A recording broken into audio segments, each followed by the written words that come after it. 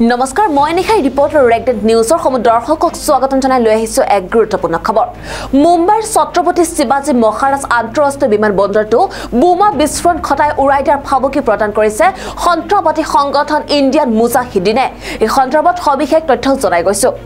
মুম্বাইস্থিত ছত্ৰপতি শিৱাজী আন্তঃৰাষ্ট্ৰীয় বিমান বন্দৰটো সন্ত্ৰাসবাদী সংগঠন ইণ্ডিয়ান মুজাহিদিনে বোমা বিস্ফোৰণ ঘটাই উৰাই দিয়াৰ ভাবুকি প্ৰদান কৰিছে। এই ভাবুকিৰ পাছতে মঙলবাৰৰ পৰা মুম্বাই বিমান বন্দৰৰ নিৰাপত্তা যথেষ্ট বেছি বৃদ্ধি কৰা হৈছে। আৰক্ষীয়ে দিয়া তথ্য মতে সোমবাৰে গভীৰ নিশা এজন ব্যক্তিয়ে মুম্বাই বিমান বন্দৰলৈ ফোন কৰি বিস্ফোৰক সামগ্ৰীৰে বিমান বন্দৰটো উৰাই দিয়াৰ ভাবুকি প্ৰদান কৰিছিল।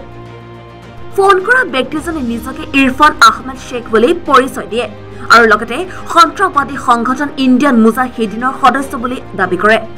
ইতিমধ্যে মুম্বাই আৰক্ষীয়ে বিমান বন্দৰৰ নিৰাপত্তা বৃদ্ধি কৰাৰ লগতে লোকজনৰ বিৰুদ্ধে ভাৰতীয় দণ্ডবিধিৰ আইনৰ পাঁচশ পাঁচ ধাৰাত এক গোচৰ ৰুজু কৰিছে। নিউজ ডেস্ক ৰিপৰ্টাৰ ৰেগনেট নিউজ।